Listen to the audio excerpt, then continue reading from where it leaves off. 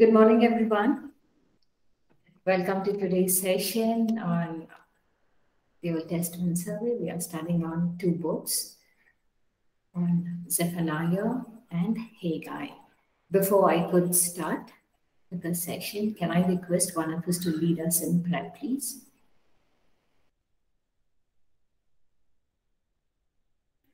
Father, we thank you for this time. Lord, we submit us to your mighty hands and ask, Lord, that as we are going to learn from these books, Lord, we pray that you would open the eyes of our understanding and help us to understand your word and help us, Diana, to uh, teach us your word in a special way, Lord.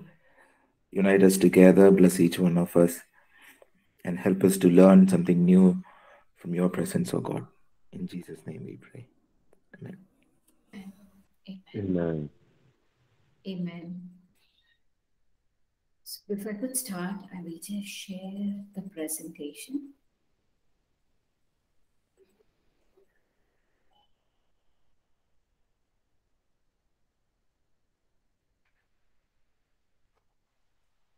Good morning, everyone. Good morning, ma. Good morning, everyone. Good morning, Enoch. Good morning. Good morning. I'm just sharing the book of Zephaniah. When the book of Zephaniah was written by Zephaniah, who was the son of Cushi, the son of Gedaliah, the uh, son of Amariah, and the son of Hezekiah. So, among the other prophets, we see something very different with Zephaniah uh, that is unique in the way he is introducing his long list of fathers. Long list of fathers, and uh, yeah, and that itself is a very unique in nature, the way uh, is portraying. He is listing uh, till Hezekiah. So we may question why did Hezekiah, I mean, why did Zephaniah stop with Hezekiah? Most likely, the prophet may wanted to highlight his royal lineage as a descendant of one of Judah's good king. So, in the reference of Zephaniah 1 4, we see that in this place, you know, how he's introducing his uh, uh, fathers and great grandfathers. And the word Sepha- means in Hebrew, Yahweh hides or Yahweh has hidden. So Zephaniah was evidently born during the latter part of the uh, reign of King Manasseh, and his name may mean that he was hidden from Manasseh's atrocities.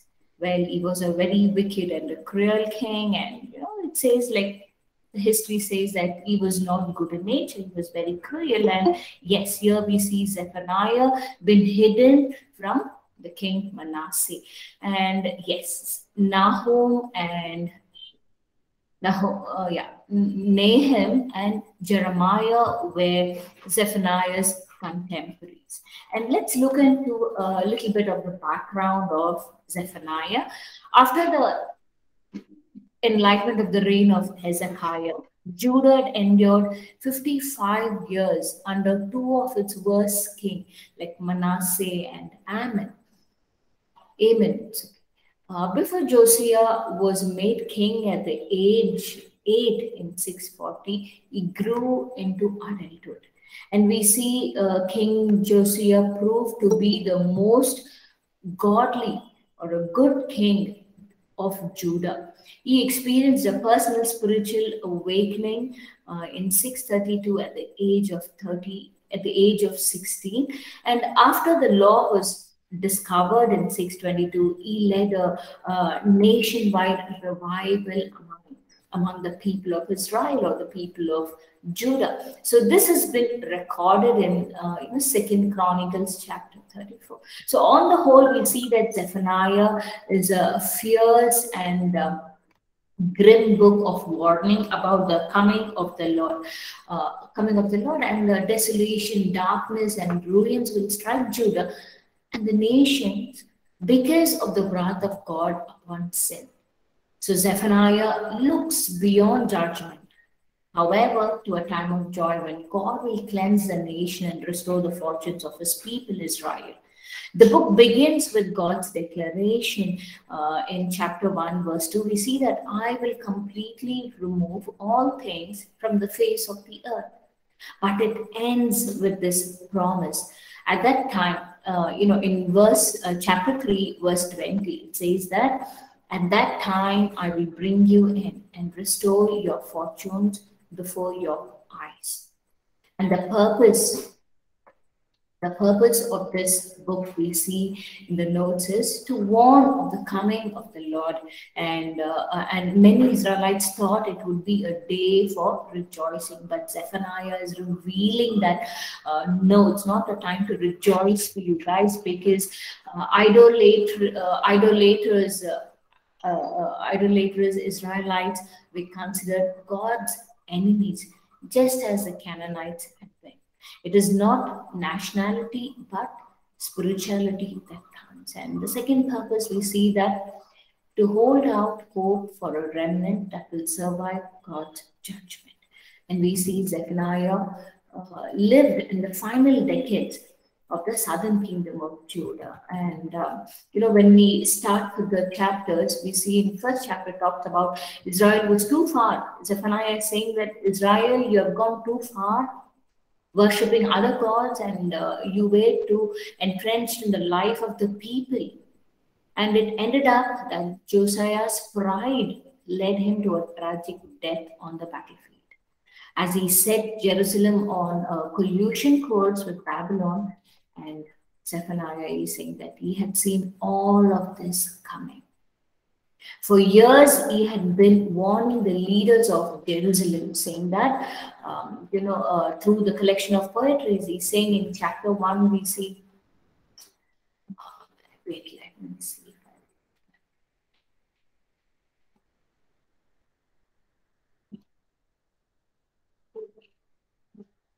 One second, just trying to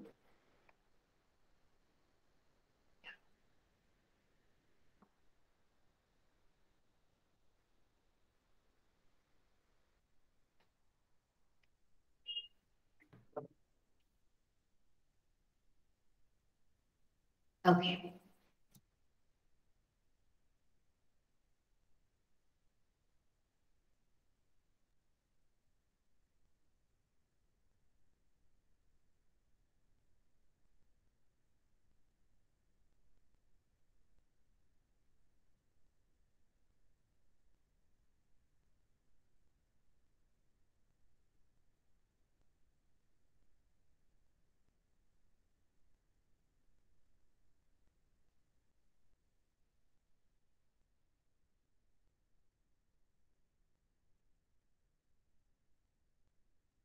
Guys, the connection was dropping. I'm very sorry. So, chapter 1, verse 2 to 3. Chapter 1, um, chapter 1 to chapter 2, verse 3 talks about the, uh, it first focuses on the day of the Lord's judgment coming on Judah and Jerusalem. And in chapter 2, uh, till chapter 3, it talks about the second part is about the day of the Lord's judgment on the nations of Jerusalem again. And chapter 3, from verse 9 to 20, talks about. Then the third section explores the hope that remains for the nations and for Jerusalem on the other side of God's judgment. Give me a minute, please.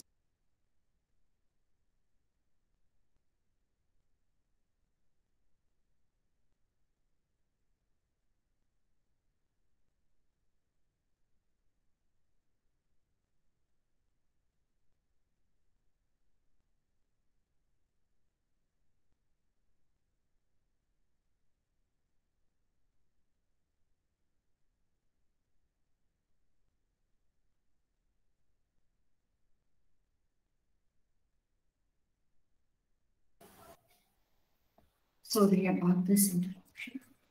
Thank you. So the first section opens with this shocking reversal of Genesis chapter 1. So it talks about uh, um, uh, so God's good and ordered world is going to descend back into disorder and darkness and chaos becoming uninhabitable once again. as we keep reading, we realize that Zephaniah is developing all of these powerful poetic images to describe how Jerusalem world is going to end. And all of the cities, institutions for worshipping the gods of the Canaanites can be destroyed. And we also see all the leaders who was, uh, uh, you know, who are leading with injustice and all the economic centers where uh, we're leading in uh, unhealthy manner or by uh, crooked ways of lending and borrowing of money place and all of it is gonna uh, uh, um, gonna be along with the city one. And zephaniah develops all these almost uh, you know apocalyptic images to show the significance of what's going to happen to jerusalem. It's all refers to the great army that is coming to take out jerusalem now it's interesting that Zephaniah never mentions uh, whose army God's going to use to bring the judgment upon this nation, though uh, the other prophets like Micah or Habakkuk uh, have mentioned that it's Babylon. But Zephaniah never mentions that in his book. And it's because he wants to highlight God's role in orchestrating the things around the rise and fall city. So with this, we will move on to chapter 2. So in chapter 2, verse 1 to 3, we see actually that uh, what gives Zephaniah a kind of hope that Jerusalem as a whole can avoid its fate. But in the closing poem of section 1, he calls on anyone in Jerusalem who would seek the Lord.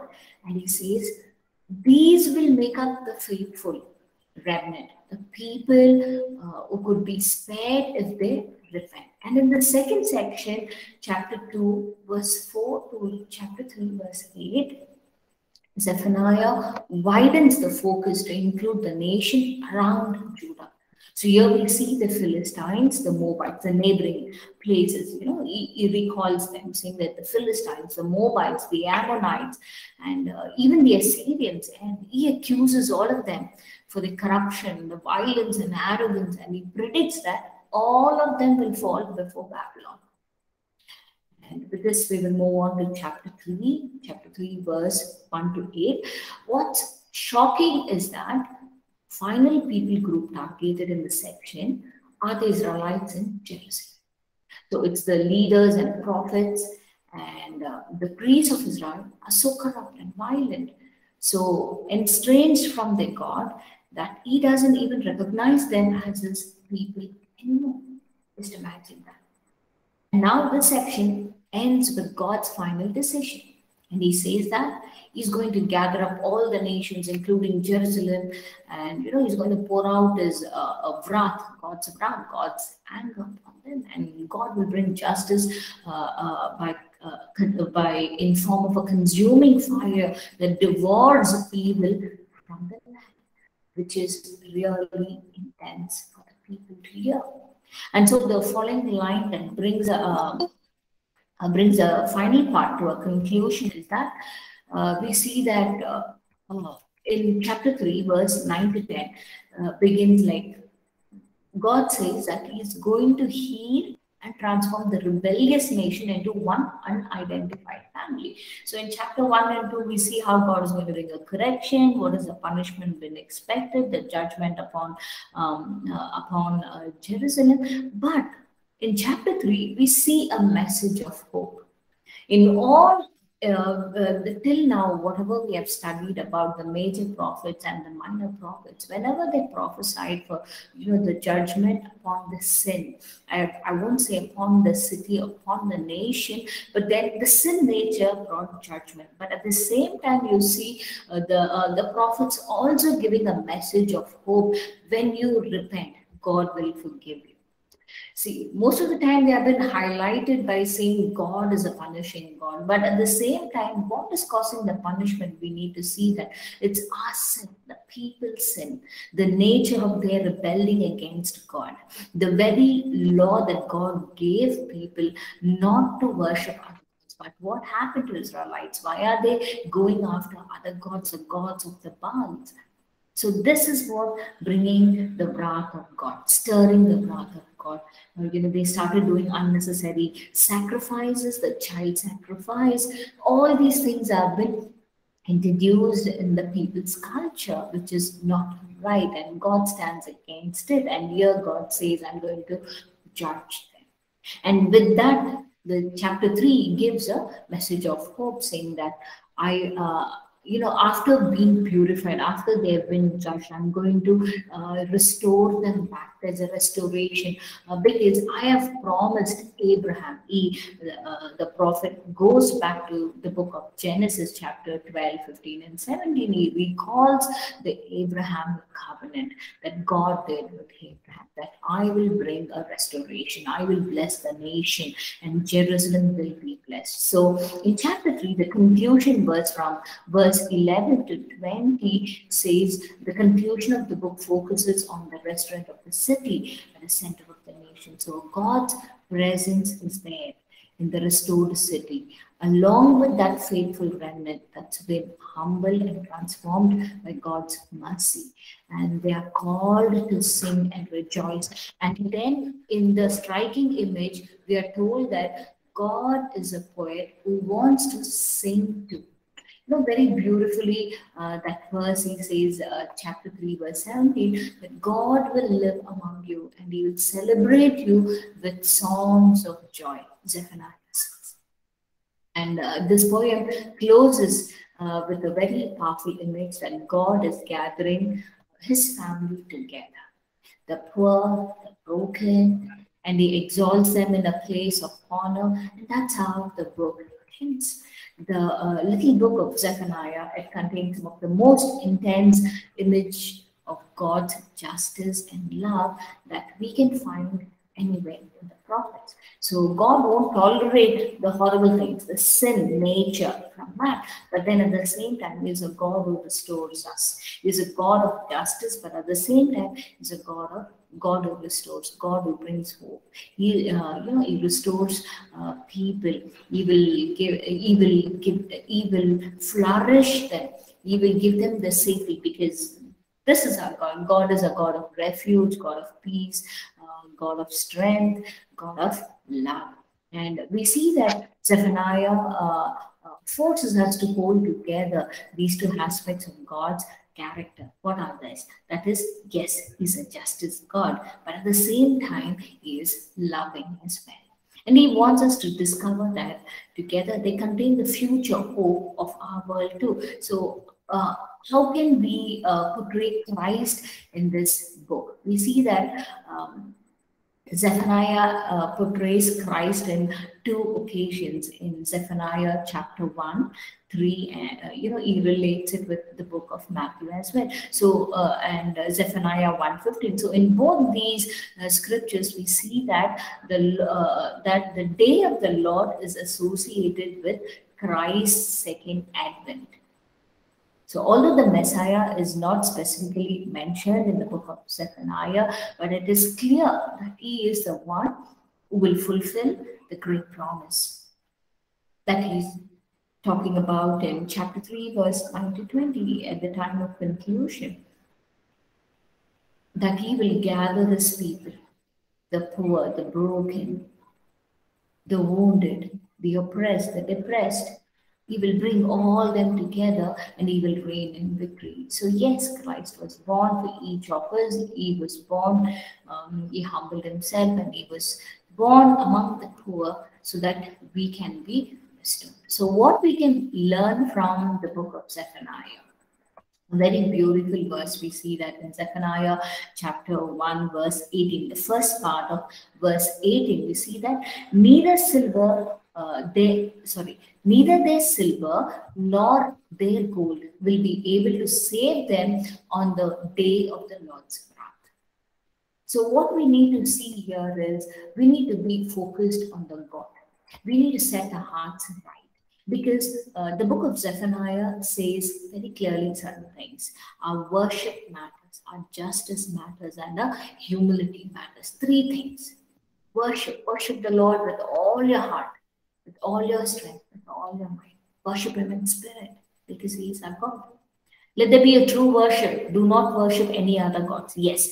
Now, we may not worship any other God, but then are we having any kind of idols, any kind of likings towards something else other than God? We need to check ourselves and see to it our worship is only to God and not to any other things around us, which may take our worship. And we also see this book also talks about the justice. Zephaniah, he says the justice matters to God in, uh, in uh, chapter 3 verse 5 he says that the lord within her is righteous and he does no wrong morning by morning he dispenses justice and every new day he does not fail yet the unrighteous know no shame sorry if there's some sound coming from outside you know doing some drilling work outside it's the government who's doing so i'm not able to avoid it sorry about it and uh, the final point here is humility. Humility matters. So in chapter 2, we see that Zephaniah calls us to seek the Lord, seek righteousness, and seek humility. There are three things that this chapter talks about that we in our daily life need to apply these three things seek the Lord, seek righteousness and seek humility. Because in these things, when we actively seek, we find ourselves in God's plan by fulfilling His purpose in our life. So, with this, we conclude the book of Zephaniah. If there's any questions, if you like to, thank you, Divya. If you would like to uh, add on, please feel free to add before we could mo move on to the next book. Hey, guy.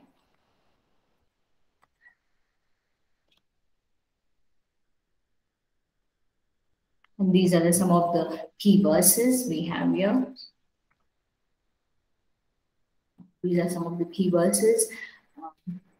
Yeah, can I request each one of us to take turns and read these scriptures, please? There are six scriptures listed. Zephaniah 3:17 The Lord your God is with you, the mightier the mighty warrior who says, He will take great delight in you. In his love, he will no longer rebuke you, but will rejoice over you with singing.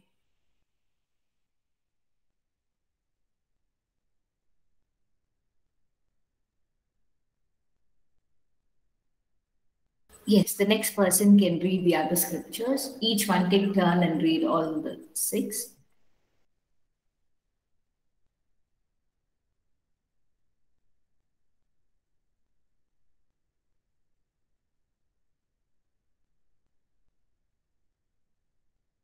Zephaniah chapter 1 verse 18 Neither their silver nor their gold will be able to save them on the day of the Lord's wrath. In the fire of his jealousy, the whole earth will be consumed, for he will make a sudden end of all who live on the earth. Zephaniah 2 3 Seek the Lord, all you meek of the earth who, had, uh, who have upheld his justice, seek righteousness, seek humility. It may be that you will be hidden in the day of the Lord's anger.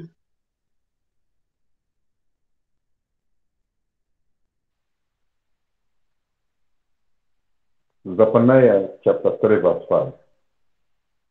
But the Lord is still in the city he does what is right and never what is wrong. Every morning without fail, he brings justice to his people. And yet the unrighteous people dare keep on doing wrong and not ashamed. Zechariah, Zechariah chapter. Hope I'm right. Yes. Can you hear me? Yes, we can hear you. Please go ahead. Okay, Zechariah chapter 3, verse 11 to 12. At that time, at that time, you, my people, will no longer need to be ashamed that you will rebel against me. I will remove everyone whose who is proud and arrogant, and you will never again rebel against me on my third hill. Verse 12. I will leave these, I will leave there a humble and a lowly people who will come to, to me for help. Amen. The last verse. Verse 19. He said, The time is coming. I will punish your oppressors. I will rescue all the lame and bring an exile home. I will turn their shame to honor, and all the world will praise them. Amen. Amen. Amen. It's so beautiful that each key verse that we can claim in our life. Would you like to share that how these verses is, has helped each one of us in our daily life and our spiritual walk? Is there anyone in the class would like to share something about these scriptures?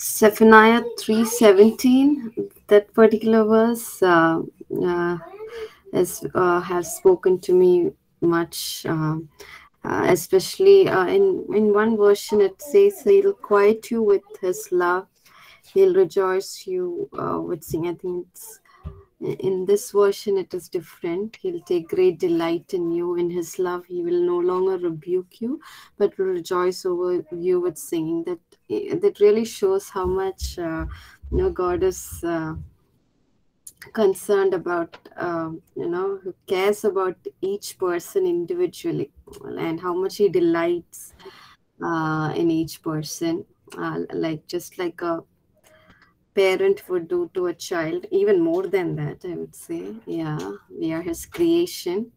So uh, yeah and it also talks about uh, the his presence is our strength right? The mighty warrior who saves. Uh, so yeah it is very beautiful. Yeah when i think about that to us. thank you. Amen. Amen. Thank you. Thank you Divya for sharing that. Yes the lord our god is with us.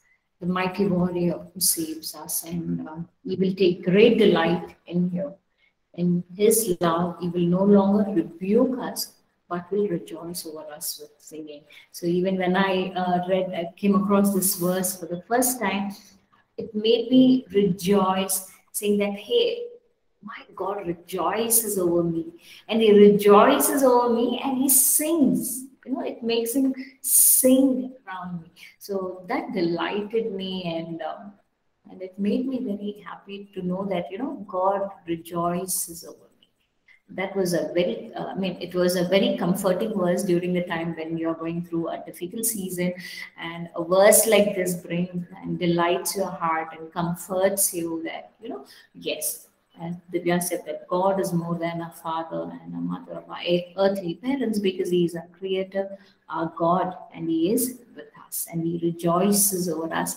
It's like amazing to know that. And He sings around us. It's actually literal, you know, God actually does it. We can take literally because this is what He means, and He means every word that He says, and it is actually God rejoices over us. Okay. Uh, yeah, with this we will move on to the uh, next book.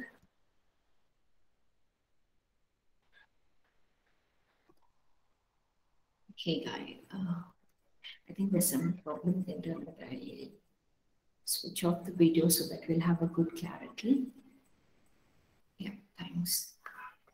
So the book of Haggai so the uh, the Haggai was the author of this book, and it's named after him. And uh, even in the book, we see that nine times his name has been mentioned. And both Haggai and Zechariah are named by Ezra in his book. When we studied the book of Ezra, we would have come across Haggai and Zechariah. Well, like Nehemiah, who would come to Jerusalem much later to rebuild its walls, and we see Haggai was a man of action. After the temple had stopped for 15 years from completion, it took Haggai just 23 days to inspire and exhort people to resume the work of the Lord. And then the work would finally be completed about, you know, uh, in uh, 515 BC with Hezekiah's exhortation to the people. So Ezekiah, uh, sorry, Haggai's exhortation to the people. Now, Haggai's name is probably derived from Hebrew word called Hag, H-A-G, Hag, which means festival, which means festival. It may also be an abbreviated form of uh, Haggai, uh, means the festival of Yahweh. So thus Haggai means festive or festive, possibly because he was born on the day of the, uh, the major feast of the tabernacles. The first group of Jews who returned to Babylon returned from Babylon, the first exile in 538 BC, uh, which we saw in Ezra chapter 1, and in 536, uh, the uh, second uh, began in 536 they began to rebuild the temple. And uh, in about 535 however deeply discouraged uh, under the intense opposition of the people around them the work had stopped or halted for about 15 years almost 15 years. And after 15 years in uh, 520 bc god raised haggai and zechariah to encourage the people to exhort them to tell them to rebuild and uh, to rebuild the temple. And not only the temple but also the personal holy to rebuild the spiritual life. In there so the very purpose of his book is the four points to warn against the negligence against uh, doing on god's work second to encourage the rebuilding of the temple Third, to give instruction in holiness, to build their life spiritually, and to show God's faithfulness. Right. When we turn to the book of Haggai in the year 520 BC, nearly 70 years after the exile, the Babylonian Empire had recently collapsed and the world is now ruled by the Persians.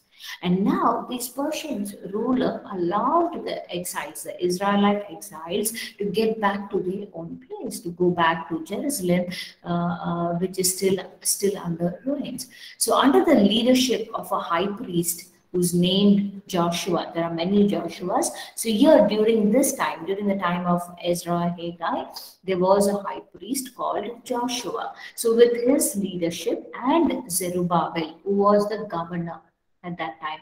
And you know, with their leadership, they come back to uh, Jerusalem to rebuild the city walls and the temple. And now uh, we need to remember, recall the story from the book of Ezra, chapter 1 to 6, where our hopes are high. I mean, to building the temple and the city walls. So the book consists of four sections now. The book of Haggai has four sections. Let me see.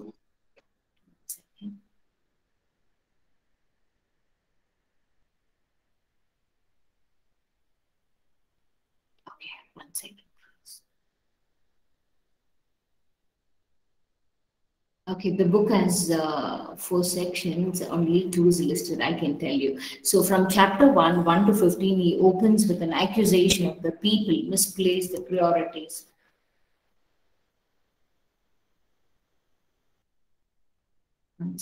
Okay. Four sections, and in first, okay, that is chapter 1, 1 to 15, here Haggai opens up the accusation of the people of misplaced priority. So, yes, they have come back to Jerusalem, but they are spending all of their time and their resources in rebuilding their own houses. While the temple of the Lord is still under ruin.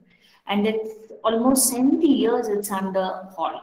So Haggai asks the people of Israel, are your own home houses really more important than being loyal to God?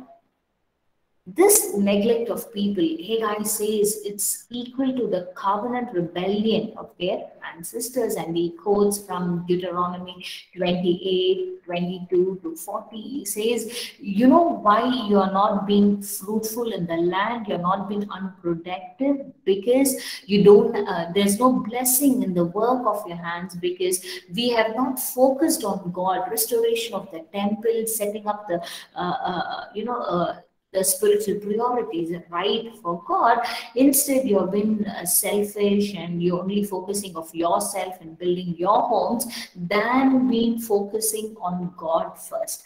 So he tries to get the people's focus right so that there will be a blessing upon them and their families. And here we also see uh, zerubbabel. We are told as zerubbabel uh, was the governor, and Joshua who was the high priest. A remnant of people were provoked by Haggai's message, and they were motivated also, and they started rebuilding the. And in chapter 2, verse 1 to 9, we see that Haggai follows up one month later. He addresses some problems of shattered expectation among the people. The temple that are rebuilding is really pretty unimpressive. And it is nothing compared to the glory of the temple Solomon had built uh, year about uh, 500 years earlier. So the morale was really low for finishing the project. So Haggai reminds the people of the great prophetic promises the future kingdom of God about this temple. temple.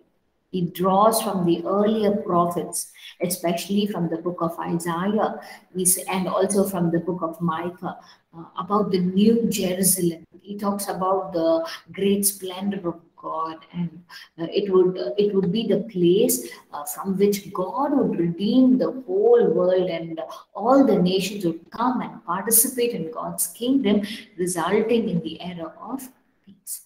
So the temple plays a, a, key role in God's plan for the future, and Haggai calls on the people to work and hope despite the disappointing circumstance. So with this, we will move on to the second half of chapter 2, uh, which is the third section. Here you see Haggai follows up uh, two months later with a call of covenant faithfulness. He reminds people to keep the Torah. He, he gives a scripture. He is just not talking or exhorting people because uh, we can also learn from Haggai saying that sometimes uh, when we speak with our motivational words, um, yes, it will motivate people, but to see a change, a transformation in the heart, we need to speak the scripture. We need to give the scripture from uh, scripture. The only the scripture has the power to change a person, to transform the person person. So, time and again, we see the prophets, and also in the New Testament, we see the disciples quoting scriptures because there is power in the word. And here we see Haggai quoting uh, the covenant, quoting the scriptures, quoting Torah, and he says, uh, See, the covenant failures will lead us to unproductiveness, unfaithfulness. And now, again, in chapter 2, the second half of chapter 2, again, he's quoting the uh, Torah, the scriptures, and he says, Listen, when we follow this covenant faithfulness that we need to keep, he engages some of the priests in a conversation about the ritual purity. And then he remembers the key ideas from the book of Leviticus. And he says, if someone goes and touches a dead body and becomes ritually impure or marked by death, then they go and touch some food. Is that food impure too? So the priest, knowing the book of Leviticus, says, yes, it is impure. Then Haggai turns this into a parable. And he says, this is how it is with the people of Israel and what they're putting their hands to in rebuilding the temple. So, if the current generation does not humble themselves, and if they do not turn from their injustice and you know the pathetic uh, way that they're leading life, and Haggai says, whatever they build with their hands, including the new temple, will be too. So he is highlighting some of the incidents for them to understand. And here Haggai challenges that it is only by the true repentance and covenant faithfulness that their building efforts will result in God's bringing his kingdom and blessing. So, in a sense, we see that Israel's future lay in their hands. So God is waiting for his people to be faithful. So, the choice that Haggai is laying before the exiled generation is very similar to the challenge Moses gave the wilderness generation before entering the land. Their obedience will lead to blessing, and success, while faithfulness will lead to ruin. The book concludes with Haggai's summary of the future hope of God's kingdom. So he's going to make the New Jerusalem the center of his glorious international kingdom. From there, he will confront and defeat evil from the nation. Here, Haggai also reminds people of the defeat of Pharaoh's army from the Exodus story, and God will fulfill here his promise to David and establish the king from his line. So uh, the, uh, here we see that how Christ is portrayed in this book. Christ is portrayed as the uh, uh in, the in the second temple is to have God's redemptive. So Herod the Great later, who spent a fortune on the project of enlarging and enriching this temple, and it was filled with the glory of God incarnated every time Christ came to Jerusalem. So the Messiah is also portrayed in the person of Zerubbabel. That I will take you, Zerubbabel, and I will make you like a signet ring. For I have chosen you. In chapter 2, 23, we see that Zerubbabel becomes the center of the messianic line and is like a signet ring, sealing both the branches together. So, how do we apply? How do we uh, conclude this book? Before we could conclude, let me go through some of the key verses of the book of Haggai. Can I request each of us to take up each scripture, four of us to take each scripture and read, please. Chapter 1, verse 4. Is it a time for you, you yourself to be living in your panel houses while this house remains a ruin?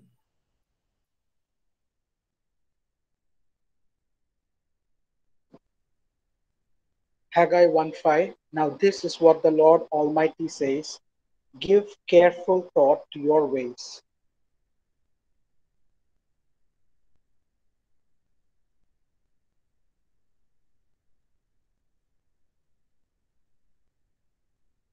Yeah, anyone from the team would like to pick up the scripture and read it out, please? Haggai chapter 1, verse chapter 1. Then Haggai, the Lord's messenger, gave this message of the Lord to the people I am with you, declares the Lord. Amen. Amen. Haggai 2 9. The glory of this present house will be greater than the glory of the former house, says the Lord Almighty, and in this place I will grant peace, declares the Lord Almighty. Amen. Amen. Thank you so much.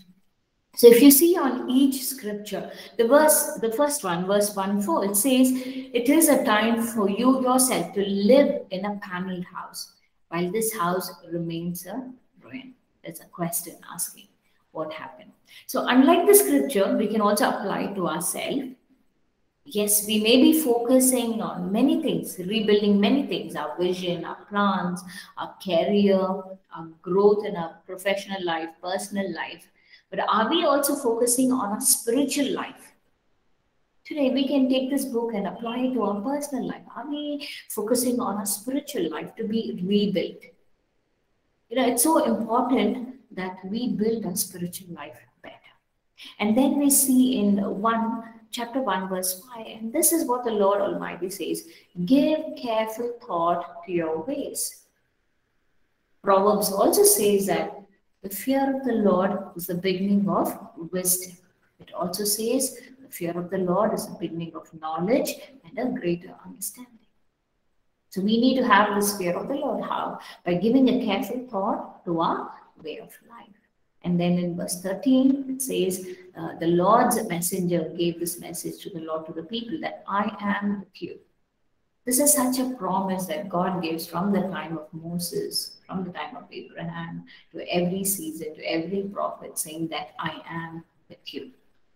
Again and again, time and again. This is a greater promise that He gives to His children. that You are never alone. I am with you. I will never leave you nor forsake you, declares the Lord.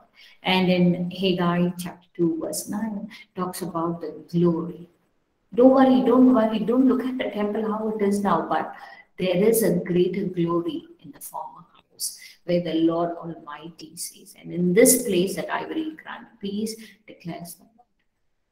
There is a greater glory talking about Jesus himself, and he is present. It is a greater glory that we need to await. Now, when they were waiting for Jesus coming, and we are also waiting for Jesus' second coming, the greater glory of Lord himself being with us. So this is a promise. This is also a comfort in the book that where we can take as an encouragement and construct uh, or build ourselves spiritually, uh, looking uh, and uh, and uh, and also having a watch over our life in our daily life, so that you know we are a vessel of honor, pleasing God in our life, and not only being focused about ourselves, but always all the messages ends with the uh, with the evangelical tone where we need to be like the prophets. We need to go around talking to people about the good news of Jesus. So each and every book ends with that, that the coming of the Lord is near, that we need to share the good news with others, just like how the prophets are doing in their time. So with this, we will take a short break. And before we could take a break, is there anything that you would like to add on to this book, share,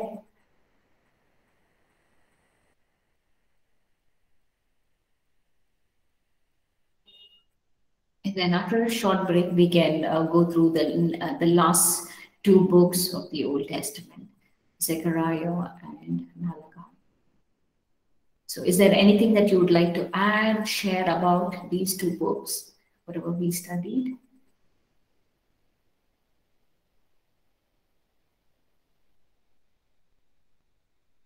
Okay, let's take a 10 minutes break and come back. Thank you. God bless. Let's take a short break.